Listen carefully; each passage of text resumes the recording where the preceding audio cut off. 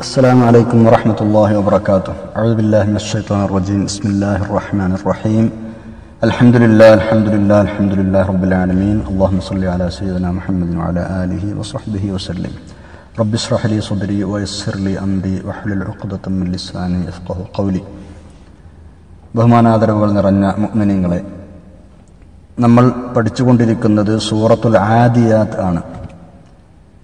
സൂറത്തുൽ ആദിയാത്തിന്റെ അർത്ഥവും ആശയങ്ങളും ഒക്കെ ഒരുവിധം നമ്മൾ പഠിച്ചു കഴിഞ്ഞു. അതിലെ ആയത്തുകൾ വിശദമായി പഠിച്ചുകൊണ്ടിരിക്കുകയാണ്.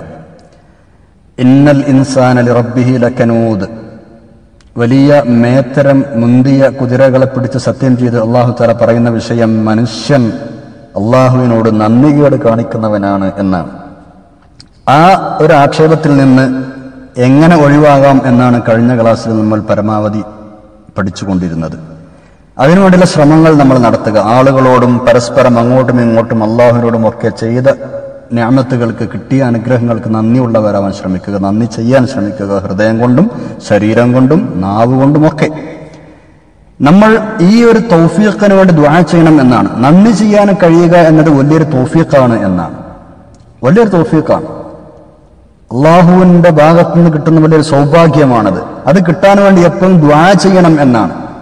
മുആദ് അലി അള്ളാഹുഹുവിനെ ഒരിക്കൽ വിളിച്ചിട്ട് ഹബീബായ നബിസ്വല്ലാസ്മ തങ്ങൾ പറഞ്ഞല്ലോ യാ മുഹാദ് അല്ലയോ മുആദെ വല്ലാഹി സത്യം ഇന്നീല വല്ലാഹി ആവർത്തിച്ച് പറഞ്ഞിട്ട് ഞാൻ എനിക്ക് നിന്നെ ഇഷ്ടമാണ് മുഹാദെ അതുകൊണ്ട് ഞാനൊരു സംഗതി പറയട്ടെ എന്ന് ചോദിച്ചിട്ട് അവിടെ നിന്ന് പറയുകയാണ്. എന്താണെന്നറിയോ?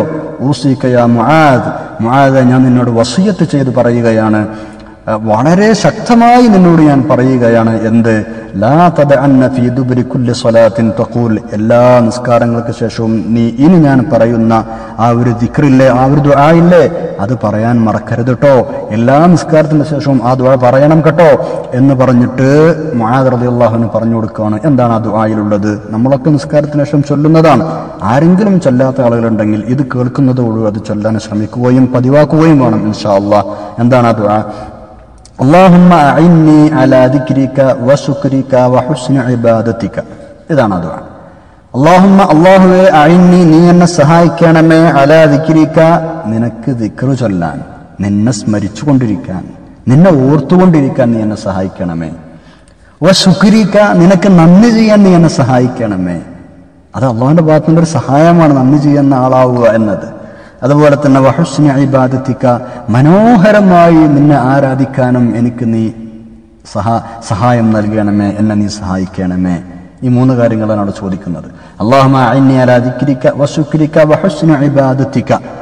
മറ്റു ചില റിവായത്തുകളിലോ തോഫീഖ് എന്നുകൂടെയുണ്ട്. നിനക്ക് വഴിപ്പെടാനുള്ള തോഫീക്കും നീ എനിക്ക് നൽകണമേ.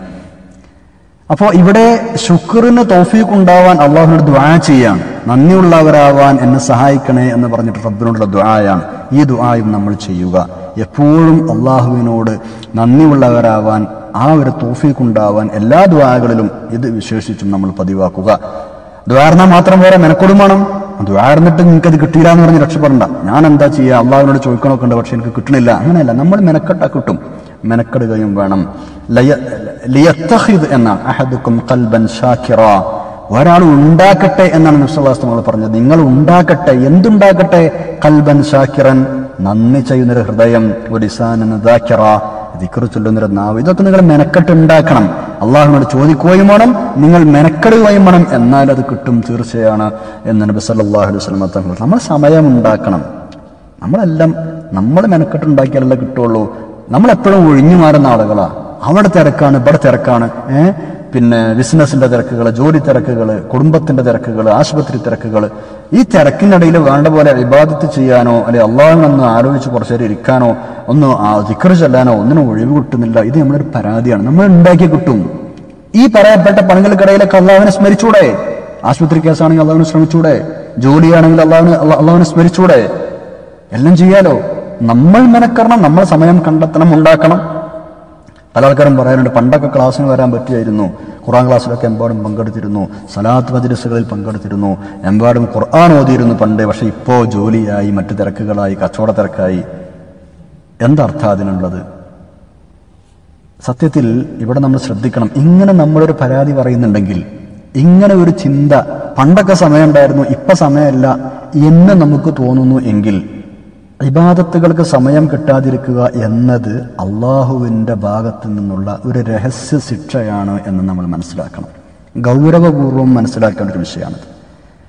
അള്ളാഹുവിന്റെ ഇബാദത്തിൽ നിന്ന് നമ്മളെ തെറ്റിച്ച് കളയാൻ മറ്റുള്ള വിഷയങ്ങൾക്ക് മറ്റുള്ള നമ്മുടെ തിരക്കുകൾക്കാകുന്നു എങ്കിൽ അള്ളാഹു നമുക്ക് രഹസ്യമായി തരുന്ന ഒരു ശിക്ഷയാണത് എന്ന് മനസ്സിലാക്കുക. എത്ര തിരക്കുണ്ടെങ്കിലും ഇതിന് നമുക്ക് സമയം കണ്ടെത്താറോ മനസ്സ് വെച്ചാൽ കഴിയും. രഹസ്യ ശിക്ഷ എന്ന് പറഞ്ഞാൽ എന്താ? രണ്ട് തരത്തിലെ ശിക്ഷയുണ്ട്. രഹസ്യവുമുണ്ട് പരസ്യവുമുണ്ട്. അപ്പോൾ പരസ്യ ശിക്ഷയ്ക്കൊരു ഉദാഹരണമാണ് എയ്ഡ്സ്. അല്ലേ? എയ്ഡ്സ് ഇപ്പോൾ പരസ്യമായ അല്ലാത്ത കൊടുത്തൊരു ശിക്ഷയാണ്. അതേപോലെ രഹസ്യവുമുണ്ട്. ഈ രഹസ്യമായ ശിക്ഷ കിട്ടുന്നത് പ്രധാനമായും എന്തിനാണെന്നറിയോ? സാന്ദർഭികമായി നമുക്കിത് പഠിക്കുക രഹസ്യമായ അള്ളാഹത്തിൽ ഒരാളെ ശിക്ഷിക്കുന്നത് പ്രധാനമായും അതബുകൾ പാലിക്കാതിരിക്കുമ്പോഴാണ്. അതബ് എന്ന് പറഞ്ഞാൽ മര്യാദ മര്യാദകൾ പാലിക്കാതിരിക്കുമ്പോഴാണ്. എന്താണ് മര്യാദ? ഏറ്റവും വലിയ മര്യാദക്കടന്ത ഏറ്റവും വലിയ അതപകടെന്താ ഈ ആയത്തുമായി ബന്ധപ്പെട്ട നമ്മൾ പഠിക്കേണ്ട വിഷയമാണ്. ഏറ്റവും വലിയ മര്യാദക്കേട് അള്ളാഹുവിനോട് ചെയ്യുന്നതാ. എന്താണത്? അള്ളാഹുവിന്റെ തീരുമാനങ്ങളിൽ അതൃപ്തി പ്രകടിപ്പിക്കുക. ഇതാണ് ഏറ്റവും വലിയ അതപകേട്. അള്ളാഹുവാണ് നമ്മുടെ സർവകാര്യങ്ങളും നിയന്ത്രിക്കുന്നതും വേണ്ടത് ചെയ്തു തരുന്നതും എല്ലാം റബ്ബ് അവനാണ്. നമുക്ക് രോഗം തരുന്നതും നമുക്ക് നന്മ വരുത്തുന്നതും നമുക്ക് അപകടങ്ങൾ നമ്മുടെ ഏതെങ്കിലും നിലക്കുള്ള മുസീബത്തുകളോ മറ്റോ ഒക്കെ അള്ളാഹുവിന്റെ കതിരനുസരിച്ച് തന്നെ സംഭവിക്കുന്നത്? എല്ലാം അള്ളാഹുവാണ് നമുക്ക് കൊണ്ടെത്തിച്ചു തരുന്നത്. ആ തീരുമാനങ്ങളിൽ റബ്ബിന്റെ അത്തരം തീരുമാനങ്ങളിൽ നമ്മൾ വൈമനസ്യം കാണിക്കുക അതല്ലെങ്കിൽ അതൃപ്തി പ്രകടിപ്പിക്കുക. ഐ പടച്ചവനിപ്പോൾ എന്നോട് ഇതിപ്പോൾ എന്താ ചെയ്ത്? എല്ലാ ഖുറാൻ ക്ലാസ്സിനും പോയിട്ട് എന്നോടാണല്ലോ എന്റെ മക്കൾക്കാണല്ലോ അങ്ങനെ വന്നത് അല്ലേ? എല്ലാ വിക്രസലാത്തിനും പങ്കെടുത്തിട്ട് എന്റെ പരപ്പണിപ്പോഴും തീരണില്ല. ഇങ്ങനെ ഓരോ റബ്ബിന്റെ തീരുമാനങ്ങളിൽ ഒരു ഒരു അതൃപ്തി പ്രകടിപ്പിച്ചുകൊണ്ടിരിക്കുക ഏത് സമയം. ഇതാണ് ഏറ്റവും വലിയ അതപകേട്. നമുക്കൊക്കെ പലപ്പോഴും പിന്നെ സംഭവിച്ചു പോകുന്ന ഒരു അതപുകാരാണത് അറിഞ്ഞോ അറിയാതെയോ നമ്മുടെ മനസ്സിൽ അത്തരം ചിന്തകൾ വരാൻ പാടില്ല. അള്ളാഹുവാണ് അള്ളാഹുവിന്റെ ചോയ്സാണ് എന്ന് കരുതിയാൽ പിന്നെ നമുക്ക് സമാധാനിക്കാലോ? എല്ലാം അറിയുന്ന നമ്മളെക്കുറിച്ച് എല്ലാം കൃത്യമായി അറിയുന്ന സർവ പ്ലാനുകളുമുള്ള റബ്ബ് തആല ഒരു തീരുമാനം നമ്മളെ നടപ്പാക്കിയാൽ ഒരു ചോയ്സ് നമ്മളെ നടപ്പാക്കുകയാണെങ്കിൽ അത് നമ്മൾ അംഗീകരിക്കുക. അത് അള്ളാഹിന്റെ ചോയ്സ് അല്ലേ? നടക്കട്ടെ. അല്ലേ? മറ്റുള്ള ആളുകളുടെ ചോയ്സ് അല്ലല്ലോ നമ്മൾ അംഗീകരിക്കേണ്ടത്. അള്ളാഹുവിന്റെ ചോയ്സ് നമ്മുടെ ഇഷ്ടമല്ല റബ്ബിന്റെ ഇഷ്ടം. നമ്മൾ നേരത്തെ പറഞ്ഞല്ലോ അരമണിക്കൂർ പല്ലുവേദന വന്നപ്പോൾ ബാക്കിയുള്ള ഇരുപത്തിമൂന്നര മണിക്കൂറും നമ്മൾ മറന്നു. എന്നിട്ട് ഈ അരമണിക്കൂറിൽ നമ്മൾ കടന്നിട്ടുണ്ടെങ്കിൽ നെകളി ഈ അരമണിക്കൂർ നമ്മളിങ്ങനെ പിന്നെ പരാതി പറയാണ്. വല്ലാത്തൊരു വേദന പല്ലുവേദന അത് ഇത് എന്ന് പറഞ്ഞ് നമ്മൾ ഇടങ്ങാറാവാണ്. ശരിയാണ് ഭയങ്കര പ്രയാസമുള്ള സംഗതിയാണ് പല്ലുവേദന അതിന്റെ ഇടങ്ങാറ വന്ന ആളുകൾക്ക് അറിയുള്ളൂ. അബൂബക്കർ അള്ളാഹുവിന് ഏഴ് വർഷം പല്ലുവേദന ആരോടും മുണ്ടാതെ സഹിച്ചിട്ടുണ്ട്. അതെങ്ങനെ പുറത്തറിഞ്ഞെന്നറിയോ അത് ഭയങ്കര രസമുണ്ട്.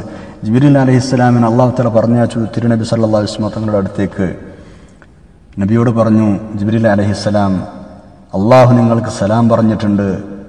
എന്നിട്ടൊരു കാര്യം കൂടെ എന്നെ ഏൽപ്പിച്ചിട്ടുണ്ട് നിങ്ങളോട് പറയാൻ. നിങ്ങൾ അബൂബക്കർ എന്നെ കാണുമ്പോൾ എങ്ങനെയുണ്ട് ഇപ്പോൾ വേദനയൊക്കെ മാറിയോ എന്ന് ചോദിച്ചു നോക്കണം. അസുഖമൊക്കെ ഭേദമായോ? ഹൽ വജത്ത സിഹ. അബൂബക്കറെ നിന്റെ അസുഖമൊക്കെ മാറിയോ എന്നൊന്ന് കാണുമ്പോൾ ചോദിക്കണട്ടോ എന്ന് തിരുനബി സല്ലാ വസ്ലമ തങ്ങളോട് ജിബിരിൽ അലൈഹിസ്സലാം പറയുകയാണ്. അള്ളാഹു അങ്ങനെ ചോദിക്കാൻ പറഞ്ഞിട്ടുണ്ട് എന്ന്. തങ്ങളിത് കേട്ടപ്പോൾ ആകാന്തപ്പെട്ടു എന്താ മൂപ്പർക്ക് അസുഖം? പറഞ്ഞിട്ടില്ലല്ലോ. അങ്ങനെ അള്ളാഹിന്റെ അടുത്തേക്ക് പോയിട്ട് ചോദിച്ചു അയ്യോ ഇല്ലത്തിന് അസാബക്ക്? എന്താ അസുഖം നിങ്ങൾക്കുള്ളത് എന്താ നിങ്ങൾക്കുള്ളത് എന്ത് എന്ത് ബുദ്ധിമുട്ടുള്ളത് അള്ളാഹു തലങ്ങളോട് ഇങ്ങനെ നിങ്ങളോട് ചോദിക്കാൻ പറഞ്ഞിട്ടുണ്ടല്ലോ. അപ്പോഴാണ് അബൂബക്കർ അലി അള്ളാഹു എന്ന് പറയുന്നത് നബി സ്വല്ലല്ലാഹു അലൈഹി വസല്ലം തങ്ങളോട് സ്വല്ലല്ലാഹു അലൈഹി ഏഴ് വർഷമായിട്ട് പല്ലുവേദന ഉണ്ട് നബിയാൻ ഏഴ് വർഷമായിട്ട് പല്ലുവേദന ഉണ്ട്. അപ്പൊ തങ്ങൾ ചോദിച്ചു എന്നോട് എന്താ പറയായിരുന്നത്? എത്രയോ മരുന്നുകളില്ലേ? അല്ലെ ആ ഗുഹക്കകത്ത് പാമ്പ് കുത്തിയ സമയത്ത് അവിടുത്തെ തിരു സറഫാക്കപ്പെട്ട ഉമിനീരെടുത്ത് അവിടെ വെച്ചു കൊടുത്തപ്പോഴാണ് അത് ഭേദമായത് എന്നോട് പറഞ്ഞുകൂടായിരുന്നോ? എന്താ എന്നോട് പറയായിരുന്ന ചോദിച്ചു. അപ്പൊ അബൂക്രദാൻ പറഞ്ഞ മറുപടി എന്താണെന്നറിയോ? നമ്മൾ രണ്ട് കാതും ശരിക്ക് കൂർപ്പിച്ച് കേൾക്കുക. കൈഫ അഷ്കൂമിനൽ ഹബീബ്. എന്റെ ഹബീബായ അള്ളാഹുവിനെ കുറിച്ച് ഞാൻ എങ്ങനെയാണ് പരാതി പറയാൻ നബിയെ? എനിക്ക് പല്ലുവേദന തന്നത് എന്റെ റബ്ബല്ലേ എന്റെ റബ്ബിനറിയാലോ? ഞാനതെങ്ങനെ അങ്ങയോട് പരാതി പറയാൻ ഞാൻ സഹിക്കല്ല വേണ്ടത്?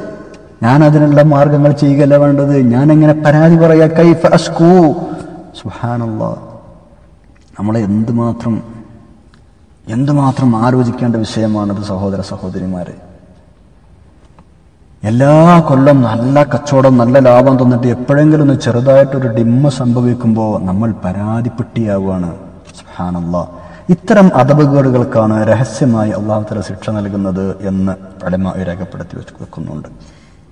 അതുപോലെ തന്നെ ഈ ശിക്ഷയുടെ മറ്റൊരു ഭാഗമാണ് നമ്മൾ നമ്മൾ പറഞ്ഞല്ലോ അള്ളാഹുവിന് കൃത്യമായി വേണ്ടതുപോലെ ഇബാദത്തുകൾ ചെയ്യാൻ കഴിയാതിരിക്കുക എന്നതാണ് ശിക്ഷയുടെ ഒരു ഭാഗം. എല്ലാ നിസ്കാരവും ജമാഅത്തായിട്ട് തന്നെ നിസ്കരിക്കാൻ നമുക്ക് പോകുന്നുണ്ട് പക്ഷെ കഴിയണില്ല.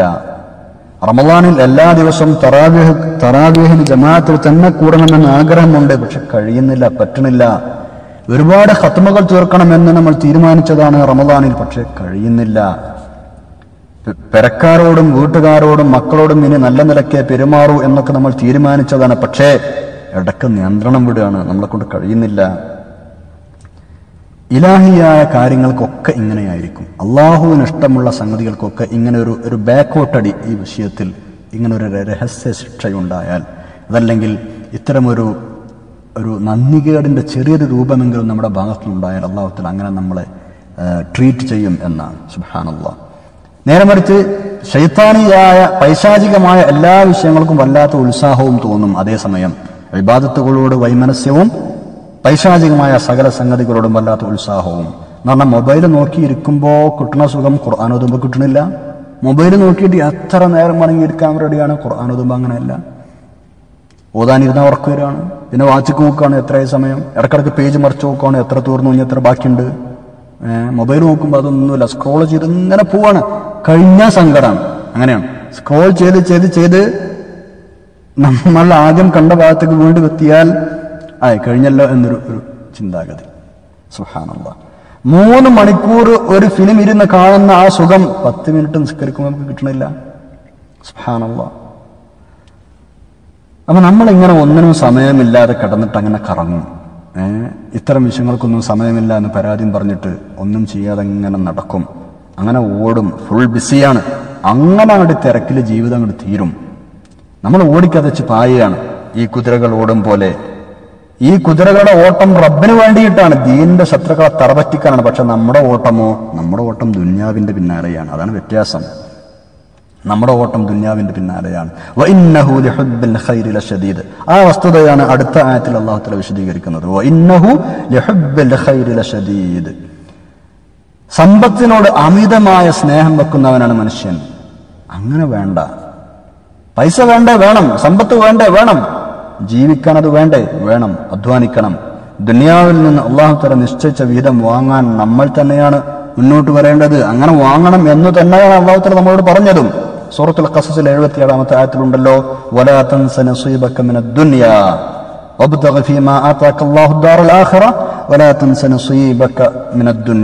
ദുനിയാവിൽ നിന്ന് നിനക്ക് അള്ളാഹു താല കരുതി വെച്ച ഓഹരി അത് നീ മറക്കരുത് കേട്ടോ അത് നീ എടുത്തോളണം. അതേസമയം ആഹാരവും നീ മറക്കരുത്. ആഹാരത്തിന് വേണ്ടി പ്രവർത്തിക്കുകയും വേണം. ദുന്യാവെന്ന് കിട്ടിയത് കൊണ്ട് ആഹാരം രക്ഷപ്പെടാൻ നീ ശ്രമിക്കണം. അവ ദുന്യാവിന്റെ പിന്നാലെ തന്നെ കൂടണ്ട എന്നർത്ഥം.